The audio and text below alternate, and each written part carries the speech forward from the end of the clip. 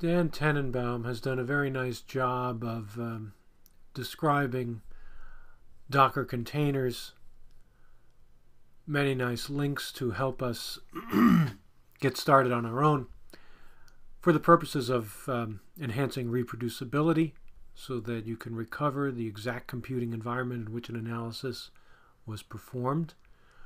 Ease of use so that you can get uh, a, a, system together um, without dealing with um, uh, system dependencies. And convenience for testing.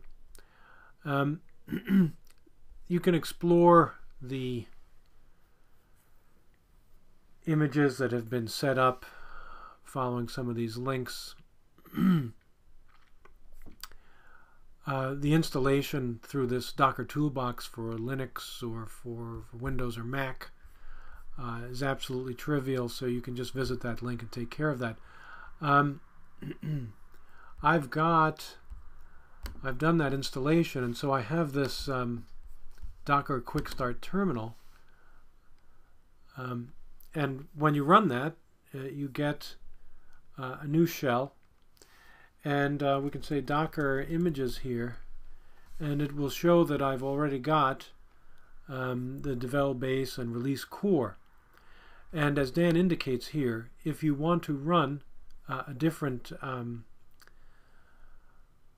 R that's provisioned with uh, other materials well you can uh, run the docker run command so I'm going to do that here uh, docker run minus ti, and I want to do microarrays in uh, bioconductor base, uh, bioconductor release.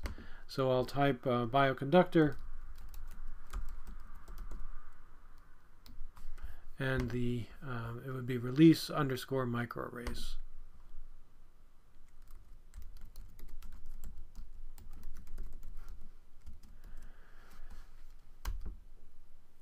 And what Docker is doing here is uh, indicating that um, it's going to have to get some software, some binaries, to fulfill this uh, request.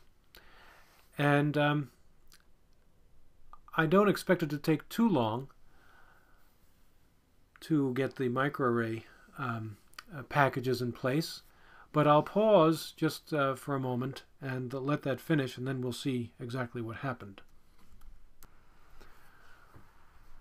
Well, I guess it's uh, a little more involved than I thought to um, be equipped to work with microarray data in Bioconductor. Uh, right now, we've uh, used up a good four gigabytes of my disk. Uh, it hasn't taken too long. Uh, I'm on a pretty slow connection, though. Um, and we can see that there's another three gigabytes uh, waiting to be downloaded, or, well, a chunk of it is coming down. Um, so we'll pause it again, and um, I'll let you know what's going on uh, when those three gigabytes have have loaded, and then we'll continue to uh, see what's in this uh, image. Well, we finished the pull, and uh, there it is. It started up R 3.2.3 and let's take a look at the uh, installed packages.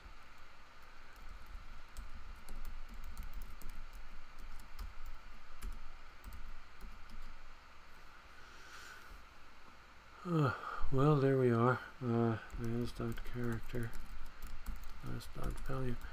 It was surprising to me that there would be so many um, multi-gigabyte uh, image elements coming back down. But you can see that there are, uh, in the microarray image, 788 packages. And um, we'll just see, uh, yeah, so Illumina methylation is handled. Um, HGU, so there's a lot of annotation for um, Affymetrix microarrays. Uh, how about the, uh, the PD Oligo is there. Yeah, PD mapping. So this is one of the uh, SnpChip um, uh, annotation packages. Uh, those can be quite large. So what's happened is um, remember what we did here. In fact, I'm going to scroll all the way up so that we see exactly what went on. Um, Docker was started. We checked out some images. And um, we ran this command, docker run, asking for release microarray um, to start up R. was not able to find that image, and so it went and got all the necessary material to create that. Now, if I shut down R and run the same command, all of the images are already there. There's no need to do any uh, downloading, and this uh, image is here on my machine. Now, how much space did it take up? Wow. Um, close to um, 15 gigabytes uh, of software was brought in uh, through this um, demonstration. Um, let's just head back to Dan's documentation here. Uh, the images are stored in Docker Hub. We can take a look at that. resource here. Now it looks as if they redirected. Sorry about these lines here. We're going to be done in a minute. Uh, we can look up bioconductor. And now we see down here uh, release core, for example. We can click on that and take a look at the tags that are available many different images. Uh, these, I think, are um, just simple representations of the date uh, when the image was made. Presumably some bioconductor packages changed uh, in, in release, and so a new um, Docker image uh, was created, and um, one can go and request um, a specific uh, image with one of the Docker um, run or pull commands. Let's see, I also wanted to check what he comments on. The Docker files are in GitHub, and let's just see what those uh, look like. Common. Uh, So what I wanted to do is just uh, have a look at uh, the Docker files and um, the documentation here is telling us do not edit files called Dockerfile. They're automatically generated from dockerfile.in through the rake command. And what we can see here is the way in which um, uh, a Docker container is specified.